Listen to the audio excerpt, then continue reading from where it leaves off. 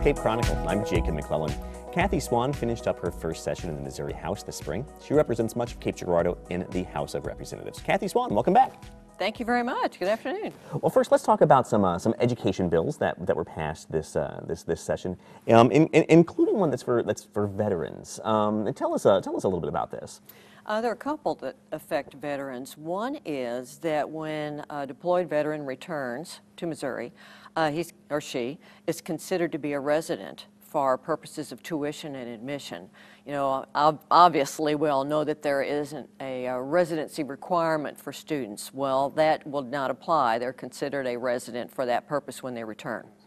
The second. So this would be any veteran that that maybe from Michigan or elsewhere can can move to Cape Girardeau or to Missouri, excuse me, and they'd be considered as a, a resident know, for tuition. That is my understanding. Uh, we'd have to look at the bill language to know if someone was a brand new resident of Missouri, but that would seem to make sense because obviously, if you lived in Missouri and you returned to Missouri after mm -hmm. being um, returning out from the military, you are a Missouri resident. So that, that would seem to make common sense in that situation.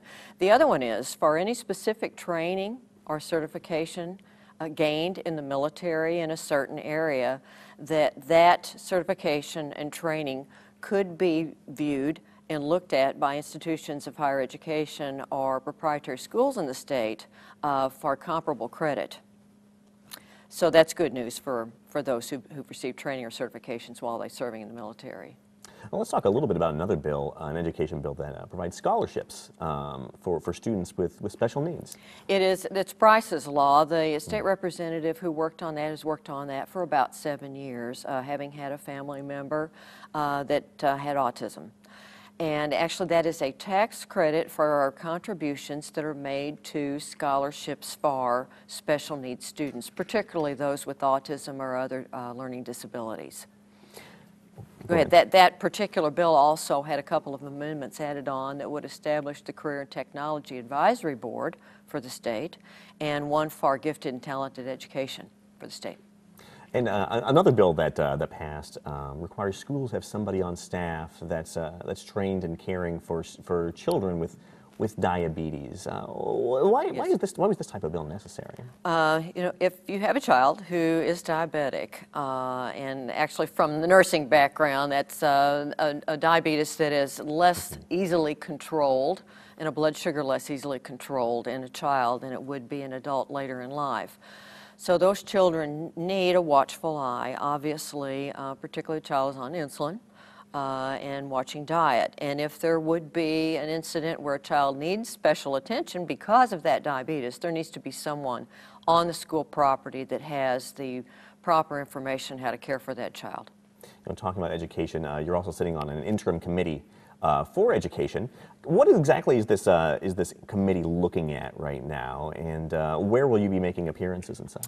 Uh, the committee wants input, wants input from the state. We discussed a variety of topics. We've had one meeting in Jefferson City, uh, and we're going to be talking about uh, a variety of things, obviously, funding, um, anything that comes before people that they're interested in. We're really trying to get their thoughts and their ideas about education, about teacher, about uh, graduation, anything that is of interest to them.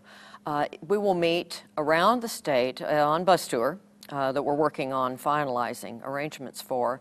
But the plan is to travel the southern part of the state the last week in September and then the middle and northern part of the state in the last week of October. Now there's a, um, there's a veto session coming up in, in September. Um, and one of the bills that, that Governor Jay Nixon vetoed was uh, an income tax cut bill. That's right. And he since um, withheld funds for education, saying that this is th this this would be necessary if that if his veto was was overridden. What's um, what, what's your reaction to the, to the governor's actions on this? Well, that particular income tax bill would have been the first in almost 100 years for the state of Missouri, and there were three different main portions of that regarding the income tax. One would be is a phase-in of over uh, five years of a reduction of a half a percent in personal income tax. Another one was up to a phase-in of 50% deduction on business income for small businesses that are taxed as individuals, and there was not a phase-in period for that one. Um, so year 2014, they would immediately start, or, or, excuse me, not a phase-in period. I'll explain what I meant by that. That's an error. Uh, there is a phase-in period for that, um, but so the first year would be 10% reduction. Mm-hmm. The last one is a reduction of up to 3% on corporate income tax. Now, the, the reduction on the personal income tax, the reduction on the corporate income tax would only take effect if the general revenue would grow by at least $100 million from the previous tax year. Mm-hmm.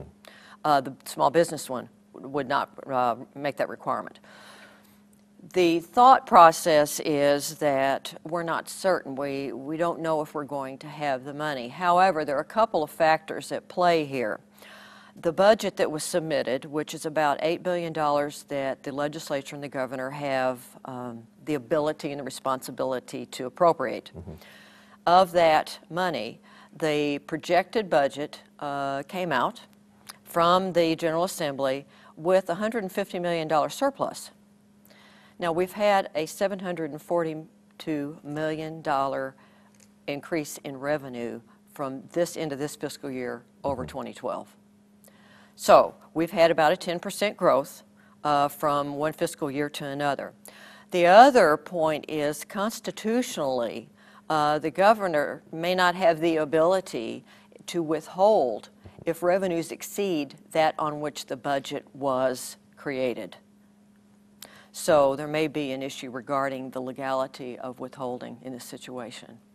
Now, this was a, a bill that you supported uh, uh, this year. Now, is, is, this something that you'd also support in the uh, in the veto session to override the? the yes, override? I will. Yes. Yes, I will. Let's let's talk a, a little bit about. Um, about another bill, which was the uh, the big workforce development bill that was that was talked about, which was the uh, prevailing wage. Uh, yes. The prevailing wage bill. This was passed. The governor didn't sign it. Um, give us a little bit of background what exactly is prevailing wage and, uh, and, and, and, and, and, why was it something that, that, that, gathered support from the legislature?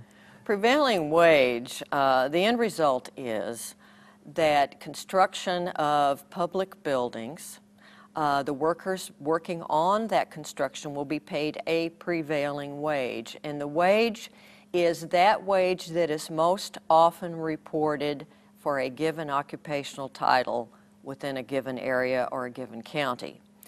Uh, where some of the difficulty comes from, particularly in outstate counties, is our wages are not quite what those wages are in the metropolitan areas. And for some of these occupations, there are little to perhaps no reportable wages. So we default to the metropolitan, or the states rather, collective bargaining agreements. So some of the wages that are paid, many believe, for these construction workers on these jobs is significantly higher than would normally be paid, therefore costing tax, more taxpayer dollars for the construction of that public building. Let's talk a little bit about uh, a couple more interim committees that you're on. You're on one for Medicaid transformation. Uh, tell, us a, tell us a little bit about that. There are several Medicaid committees at this point. There was one that's legislated, it's a joint committee, Senate and House. There is one that's traveling the state and has citizen membership on it as well, taking input from communities as we're doing with the Education Committee. And then the one that I, on which I will serve is legislators. And we will take that information, it's Medicaid Transformation Committee, uh, we will take that information uh, gathered from the roadshow uh, and come up with some recommendations regarding Medicaid. Go ahead. The, um, the other committee is legislative infrastructure and process, and that particular committee will study how the House operates and develop a blueprint for more effective, efficient operations from now and into the future. And will this be one that also has a, a bit of a road show that goes along with it and traveling the state as well? We have not met uh, yet. So, you know, and I, I, I I always think, well, we're going to meet over the summer because school starts in September, so we'll go back. But actually, we have until January before we go back. So we've not met, had our initial meeting, so I'm uncertain as to what the schedule might be. Now, uh, real, real quickly before we before we finish, um, you just finished your first term. What was your reaction? What, what, was your impression of your of your of your of your, of your first session in the in the legislature? Extremely busy. Uh, time is very valuable, but hard to find. Um, and I've likened it to riding a bicycle. That one must jump on that bicycle. There are no training wheels, and you better be taken off because you'll re- be run over by everyone else. Um, great workload, great information. We've been talking today with Kathy Swan. She serves in the Missouri House of Representatives. Thank you for your time. Thank you very much.